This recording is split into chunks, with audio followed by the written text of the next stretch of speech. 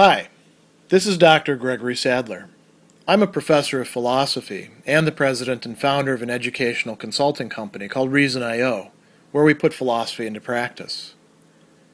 I've studied and taught philosophy for over 20 years, and I find that many people run into difficulties reading classic philosophical texts. Sometimes it's the way things are said or how the text is structured. But the concepts themselves are not always that complicated, and that's where I come in. To help students and lifelong learners, I've been producing longer lecture videos and posting them to YouTube. Many viewers say they find them useful. What you're currently watching is part of a new series of shorter videos, each of them focused on one core concept from an important philosophical text. I hope you find it useful as well. In letter 58, Seneca is devoting the bulk of his discussion to a sixfold classification of being that he says he's getting from Plato, and we have no reason to think that he's not getting it from some sort of Platonic text or teaching, even though it's difficult to find anything like this within the dialogues that we have or, or the letters that, that we have and think are genuine you might say, well, why is Seneca interested in Plato's classification of being? And he, he gives two reasons for caring about this in this letter, about halfway through after he's talked about um, you know the, the different classifications and how individual material things are not really beings according to Plato.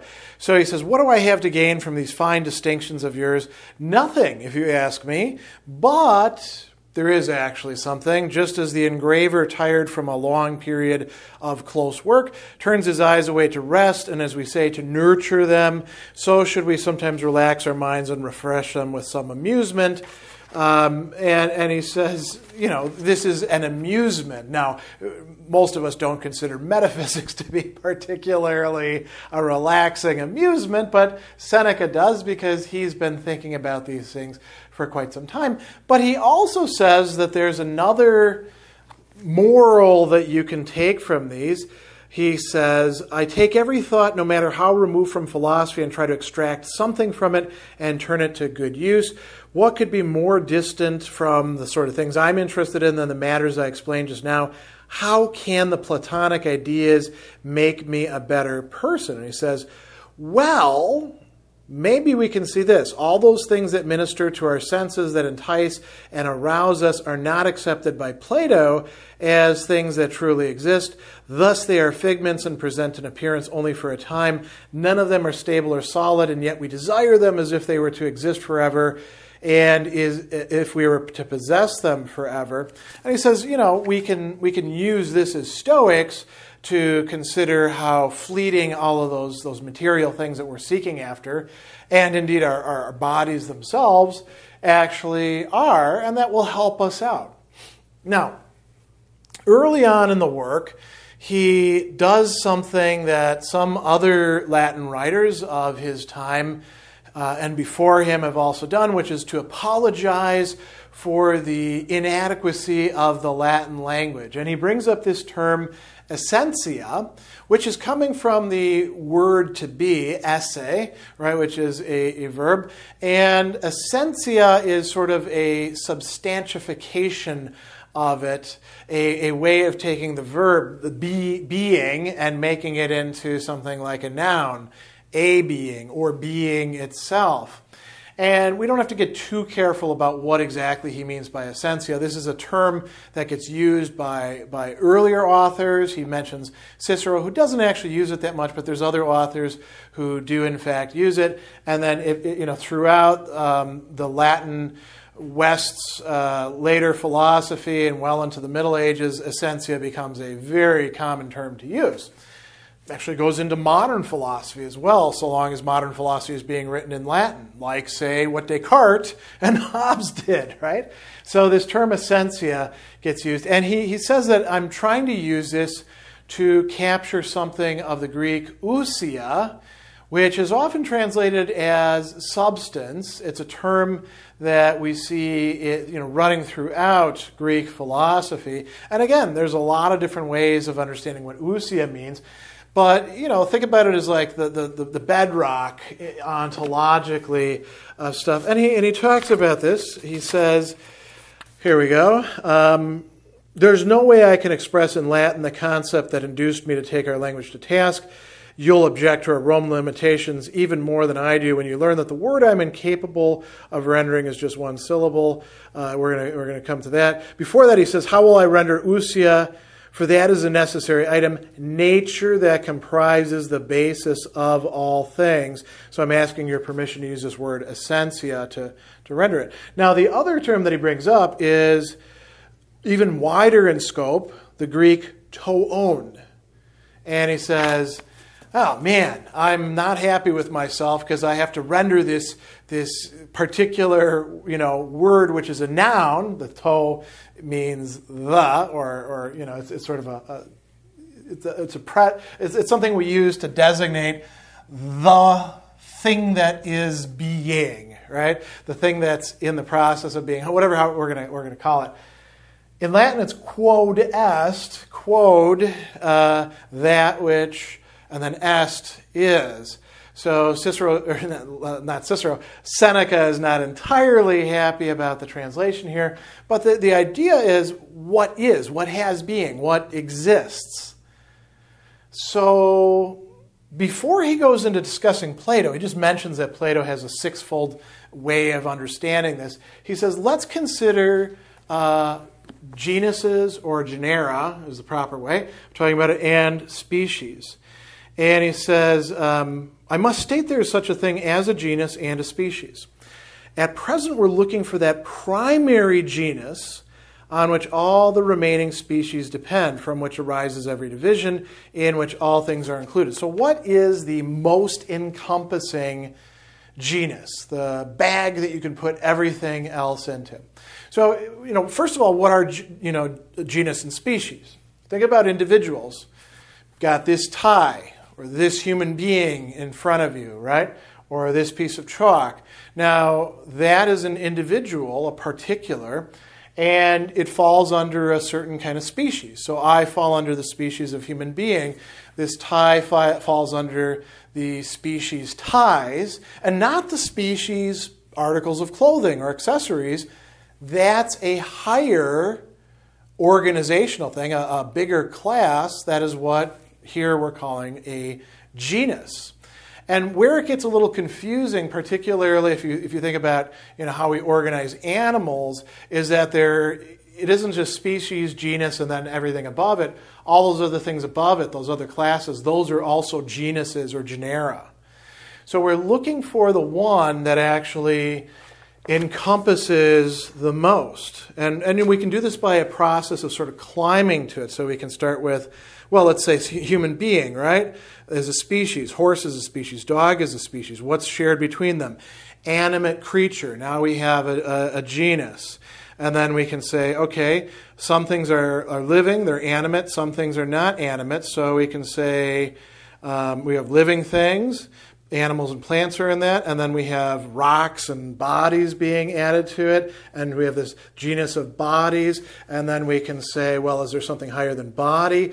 Yes, some things are corporeal, bodily, other things are incorporeal. So we're getting closer and closer to this, this encompassing genus, as he says. And he says the Stoics that which is the generic genus has nothing above it. It's the beginning of all things, all others are subordinate. But he says the Stoics want to place above this yet another still more primary genus as well. So he's going to come to that in a bit, and that, that's ultimately going to be, you know, God. Then he talks about the real centerpiece of this letter, which is Plato's sixfold division. And again, I want to remind you this is not coming from any one of the Platonic dialogues as far as we can tell.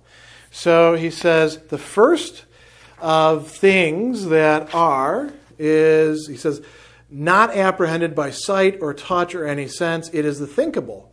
That which is by genus. For example, the generic human does not present itself to the eye, but the specific does, such as Cicero and Cato, right? Animate creature is not seen, it is thought, and what one sees are its species, horse and dog. So the genuses themselves have a certain kind of being. They are something that is. And we might say, well, yeah, they, they, I guess you could say they have being. They're being in the, in the way that they are in our minds or something. And this is something where the ancients are a bit more willing to say, no, there's, there's something out there. It's not something you can actually touch or, or smell or grab a hold of or see with your eyes, but you can grasp it with your mind. So that's the first one. Then he talks about something really interesting what exceeds and surpasses all other things. Right? And this is the second of things that, that have being. And he says this is preeminent being.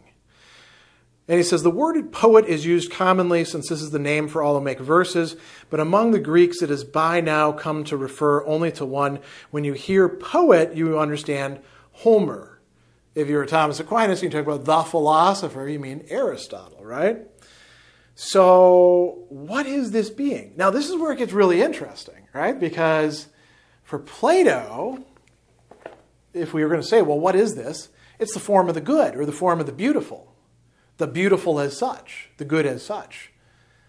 It's not God because the gods themselves are kind of lesser than that.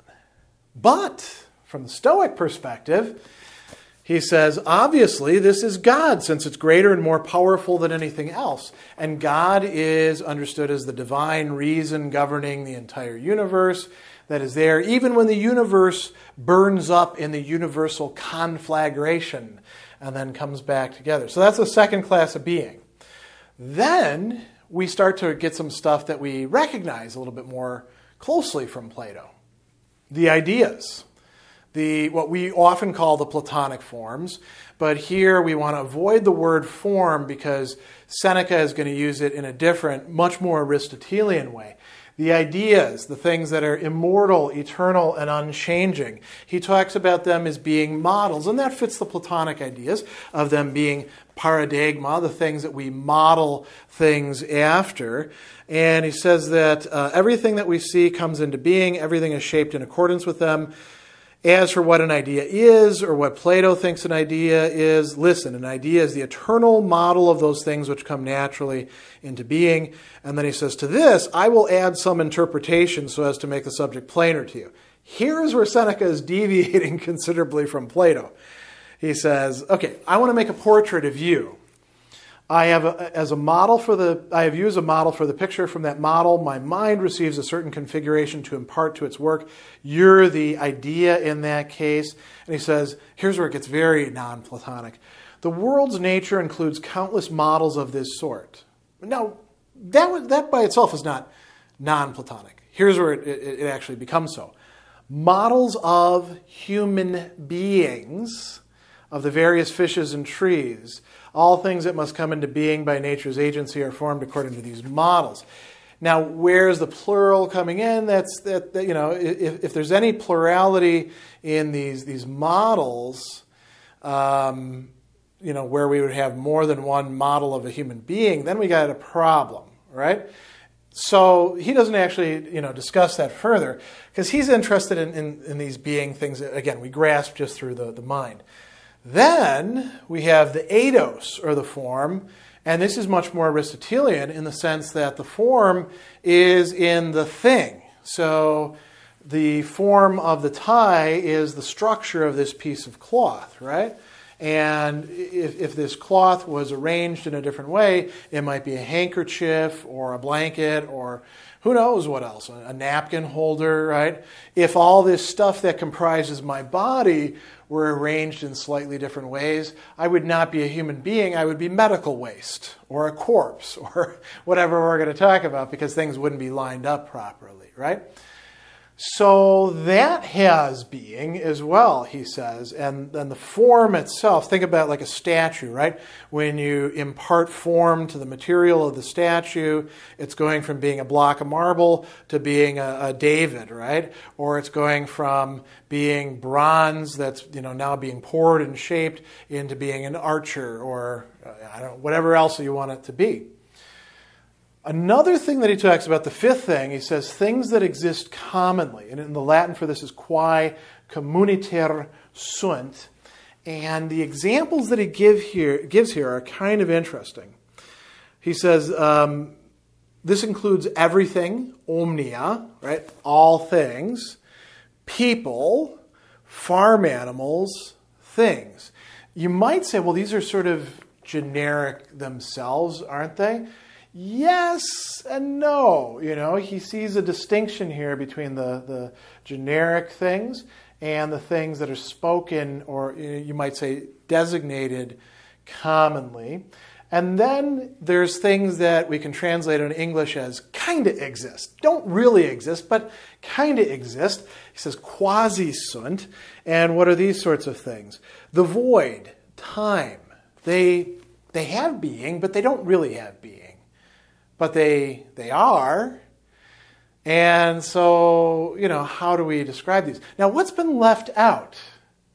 Here's where it gets really interesting well, human beings as individual human beings. Or really anything that we can touch, smell, hear, individual material things. He says, everything we see or touch is excluded by Plato from those things which are on his view, which on his view are in the strict sense. Why? Because they are in flux and constantly decreasing and increasing. No one of us is the same in old age as he was in youth. Not one of us is the same in the morning as he was the day before. We're in constant change. Our bodies are carried away like rushing streams. And then he says, um, this is what Heraclitus, the great pre Socratic philosopher, means when he says, We step into the same river twice and not at all. The name of the river remains the same, the water has passed on. And he says, This is more evident in a river than in a human being, but a current sweeps us along as well, and it's no less swift. So, with a river, it's easy to tell that it's not the same river because it's constantly in flux, and we just assign a certain name to it. But the waters actually have moved on it's not so easy with us where our cells are you know slowly dying and being replaced and things are changing all of the time. And so you know seneca is willing to say that according to plato those things don't really exist. They appear they present themselves in a way but what's presenting itself is constantly changing. This stuff these other six divisions of to on, of quod est, what has being, what is, what exists. Those are the things that really are. And so that's what we should be more focused on according to Plato. And Seneca himself is willing to say, yeah, there's, there's something to that idea. We can get something out of this.